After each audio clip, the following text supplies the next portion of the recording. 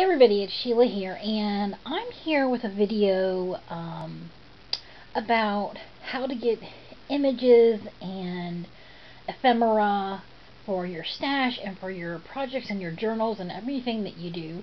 If you are like me and you're a paper crafter and you love ephemera, then you have a ton of it like me, but you can never get enough of it. And I just wanted to show you uh, someplace where I've got uh, images that you might not think about. You know, I'm I'm all about, um, I guess for lack of a better term, getting things on the cheap.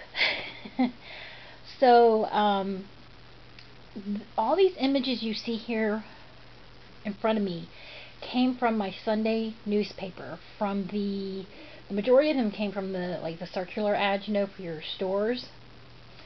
And I was really shocked at how many images I was able to get. Now, this did come from two Sunday newspapers. I got close to a hundred words and images, and then over here some numbers. I didn't count all these little individual numbers, but um, I just wanted to show you guys some of the things you can get that you might not think. Well, I, I can't get that out of a circular or my Sunday newspaper, but you can.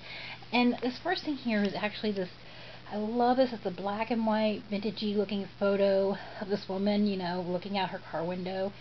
And it is big, but my current journal that I'm using right now is big, and this will fit in it perfectly. And I just love that it's black and white because I love black and white photography. Um, and then over here, like I said, I've got some numbers. I got a few uh, kind of miscellaneous things. I got a little milkshake. Gal Gadot, because I love her. These are just interesting, so I got those. I got a bunch of coffee stuff um, that I can use.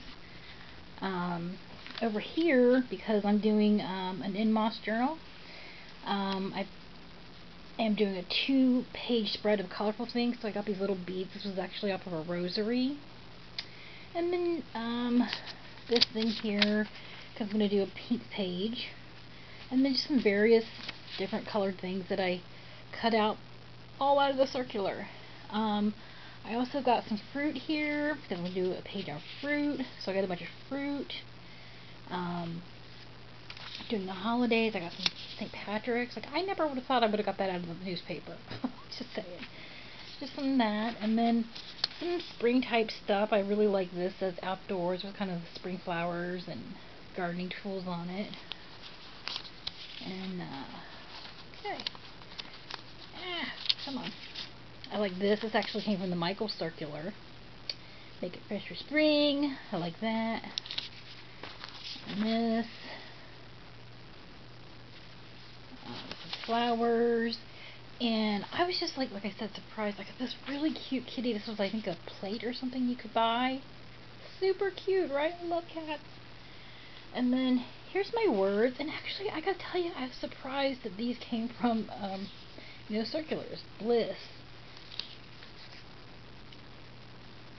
Spark joy, play, madness, what's for dinner, fresh, I mean, just all kinds of words that I didn't even think about. And then what's even better is that these are the last two weeks worth of circulars that I've gone through. Um, tons of stuff for Easter and candy, and my stuff is flying all over. Sorry, so look at all this, like, all this little, you know, aren't those cute?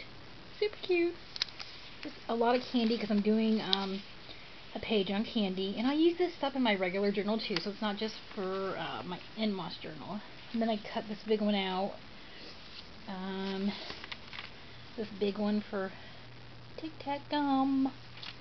You know, just all kinds of stuff. And like I said, I was just really surprised at how much I found in circular ads that I really liked and that I can use. So if you've never thought about going through your circulars and ads and stuff in your Sunday paper, do it because you get a lot of great, yummy stuff.